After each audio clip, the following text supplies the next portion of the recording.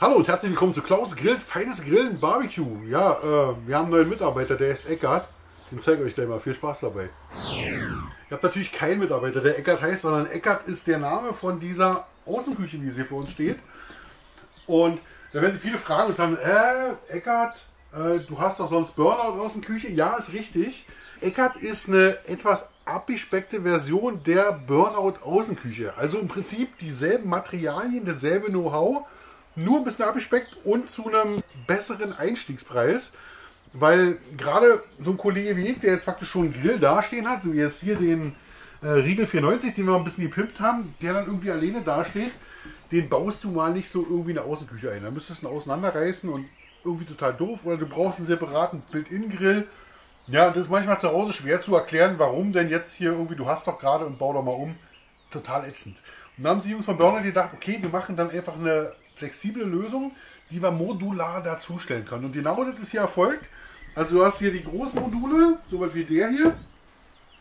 Und du hast auf der anderen Seite die kleinen Module. Das sind praktisch die hier.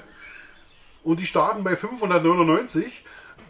Mit Rolle unten drunter kannst du noch, so wie ich sie habe, wird das noch ein bisschen mehr. Da kannst du noch, ein, zum Beispiel jetzt gibt es die Variante als Einbau Kühlschrank. Also da wird es vom Preis noch ein bisschen mehr.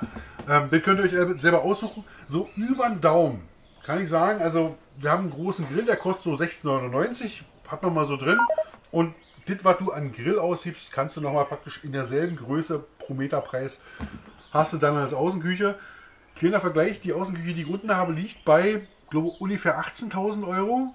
Jetzt kannst du hier hochrechnen, stellst fest, bis eine ganze, ganze, ganze Ecke drunter. Ähm, sind aber dieselben Platten hier oben drauf, also praktisch dieselbe Technik. Und das Coole bei den Platten ist, so wie die jetzt aussehen, sehen die auch in 10 Jahren noch aus. Wenn wir mal runterfilmen, da unten, da steht die eine Burnout Außenküche, die mit dem Kamado Joe drin. Die steht jetzt schon knapp zwei Jahre, würde ich sagen. Ne? Anderthalb Jahre steht die. Und die steht da wie am ersten Tag. Das ist eine Kunststoff-Polymerplatte. Und da stellt er bitte keine heißen Sachen drauf, sondern da immer ein Brett runterstellen beim Schneiden. Ganz genauso, so wie ihr bei Mutti auf dem Küchentisch auch machen würdet. Und das ist im Prinzip das, worauf es ankommt. Weil, wer kennt es nicht, du baust draußen dir was Schönes auf und denkst, ja super, wie schön habe ich das, machst noch das Foto und irgendwie nach einem Jahr ist das Ding total verranzt. Das kenne ich selber, ja, wenn man ein paar Außendielen verlegt hat. Äh, da freut man sich immer durch, über die schönen Fotos von früher. Ist mit den Dingen halt nicht, die sind wirklich tipptopp. Edelstahl, ich zeige euch mal ein paar Details. So Sachen wie hier zum Beispiel, ne? Da denkt man im ersten Moment, das ist ein Scharnier. Würde ich auch denken. Ist prinzipiell auch richtig, aber das ganze Scharnier ist aus Edelstahl. Das heißt, das ist ewig und drei Tage wetterdicht. Und das sind auch nicht irgendwelche Scharniere, das sind Hettich-Scharniere. Und das hat eine Weile gedauert, bis die Technik tatsächlich da war. Das Hettich die auch in Edelstahl für den Außenbereich zertifiziert hat. Und die sind hier drin. Also wie bei der großen Außenküche ist alles hiermit eingebaut.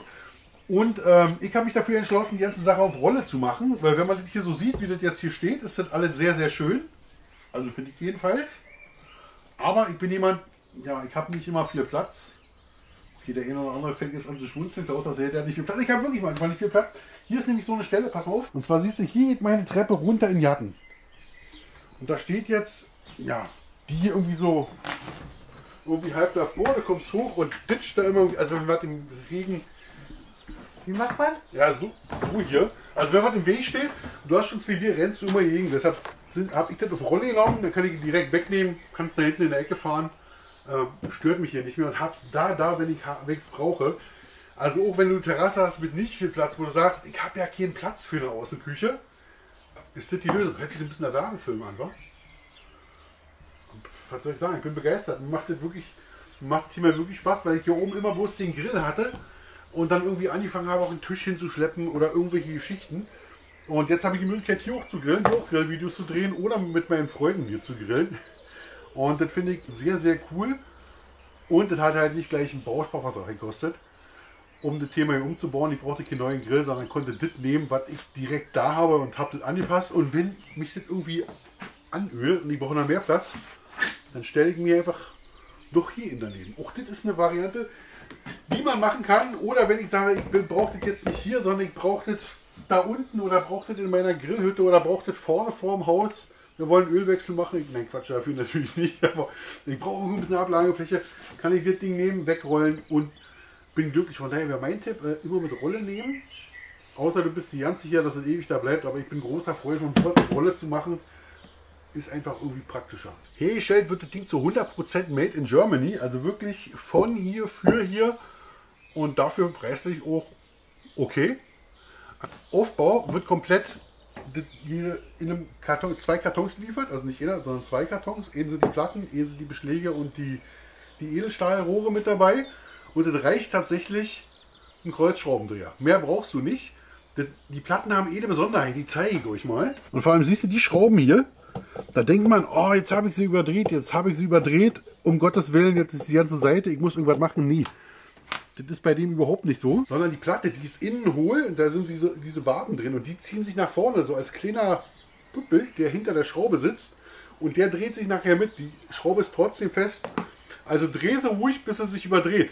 Das ist da kein Fehler, sondern ein Feature. Also bei einer Spanplatte würdest du denken, oh jetzt fangen wir wieder von vorne an und irgendwie, ich habe Reklamationsfall. Bei den Platten überhaupt nicht. Da ist es tatsächlich so gewollt, dass du die Schraube immer überdrehst. Kann ich das äh, direkt bei Burnout bestellen oder wo dann? An die beiden Grillhändlern. Also ganz viele Grillhändler, die schon Burnout Kitchen im Programm haben, die können euch die Dinger bestellen. Ansonsten findet ihr auf der Website, ich blende euch die mal hier unten ein, äh, findet ihr auch die Varianten, wo die gibt. Da sind auch Preislisten drauf. Da findet ihr alles. Also, denke mal, irgendwie kommt man an so ein Ding schon ran. Wenn wir jetzt bei Apple wären, würde man sagen, one more thing. Und eins haben wir tatsächlich noch, sonst war das Ding hier. Das ist immer mit dabei, so ein Flaschenöffner. Und äh, die Aufbauanleitung, wenn ihr euch so ein Ding zulegt, guckt euch mal die Aufbauanleitung an. Da ist nämlich genau erklärt, an welcher Stelle man das Ding braucht, einen Sixer-Träger. Wir haben 20 Minuten gebraucht für den Aufbau. Laut Aufbauanleitung soll man in der Zeit noch sechs Flaschen Bier leeren können. Da würde ich sagen, klingt total plausibel. Kriegt man hin. Ja, wenn ihr Spaß hattet an diesem Video, würde ich mich für einen Daumen nach oben freuen. Den einen oder anderen äh, wohlwollenden Kommentar oder ein Abo. Und ja, wenn ihr so eine Auf Außenküche doof findet, dann kauft euch keine Außenküche. Wenn ihr Außenküchen lieber selber baut, also richtig mit allem drum und dran, dann baut die, guckt aber, dass ihr so Materialien nehmt, die auch in drei, vier und fünf Jahren noch gut aussehen. Das ist ein bisschen schwierig, aber ihr kriegt es vielleicht so hin. Manchmal tut es ein Rost und ein Feuerchen drunter, altes Grillen. Das hier ist auch Grillen, ich freue mich sehr drüber. Ähm, und freue mich auf ein paar nächste Videos, wo wir ein bisschen ordentlich Fleisch rüberziehen werden. Das kriegen wir auf jeden Fall hin. Von daher bis zum nächsten Mal. Klaus grillt, feines Grillen Barbecue. Macht's gut.